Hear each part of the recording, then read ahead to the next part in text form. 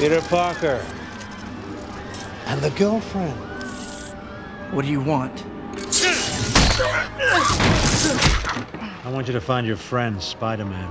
Tell him to meet me at the West Side Tower at 3 o'clock. Well, I don't know where he is. Find him. Or I'll peel the flesh off her bones. If you lay one finger on her. You'll do what? Thank you.